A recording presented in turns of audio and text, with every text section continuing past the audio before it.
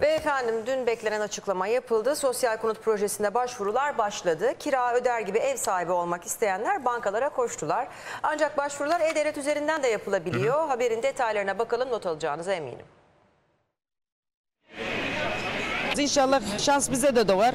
için bekliyoruz burada. Çok heyecanlıyız inşallah. 2 artı 1 608 bin lira, 3 artı 1 850 bin lira kira öder gibi ev sahibi olmak isteyenler bankalara koştu. Sosyal konut projesinin ilk gününde başvuru sayısı yarım milyona yaklaştı. İlk evim olursa sevineceğiz. Bu konut projesi bizim için çok çok iyi oldu. Başvurular Halkbank ve Ziraat Bankası'ndan yapılıyor. 500 liralık başvuru bedelini yatıranlar şimdi kurada isimlerinin gelmesini bekleyecek. Bu zaman kariyerimiz olmadı mutlu oluruz yani. Bankaya gelmek istemeyenler başvurularını E-Devlet üzerinden de yapabilirler. Yoğunluk oluşmasın diye E-Devlet üzerinden başvurular kademeli olarak alınıyor. Burada da TC kimlik numarasının son hanesi önemli. Kurada da çıkarsa bir ev sahibi olacağız. Yeni evlendik. İnşallah bize de çıkar. TC kimlik numarasının son rakamı 0 olanlar E-Devlet üzerinden başvurularını yaptı. Sonu 2 olanlar Perşembe, 4 olanlar Cuma, 6 olanlar Cumartesi ve 8 olanlar Pazar günü başvuru yapabilir. 19 Eylül'den itibaren E-Devlet'te herhangi bir sınırlama olmayacak.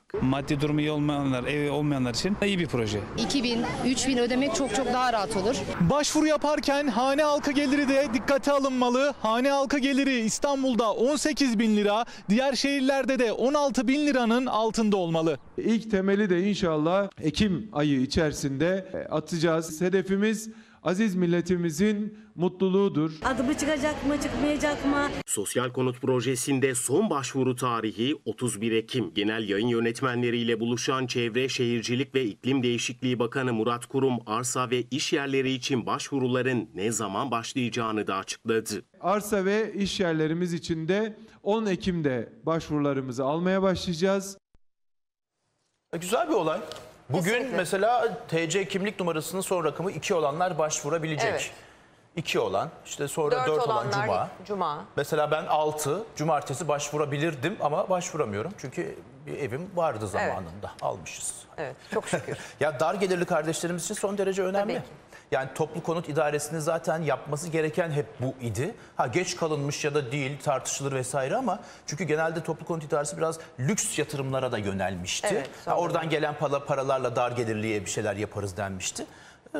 Şimdiye kısmetmiş. Evet. Hayırlı uğurlu olsun bir anlamda. Çünkü hep barınma krizinden hep bahis açıyorduk ya 600 bine 800 bine daire mi kaldı Allah Mümkün aşkına? mü? Tek göz oda vermiyorlar. Kulaklarımıza inanamıyoruz. 3 Yani. artı 1 850 bin Evet. lira olunca bunları Ayın da 31'ine biliyor kadar, olabilmek 31 çok Ekim'e güzel. kadar güzel başvurular yapılsın başvuru yani. emlak konusunda. Şartlar uyuyorsa valla şahane olay. Elbette.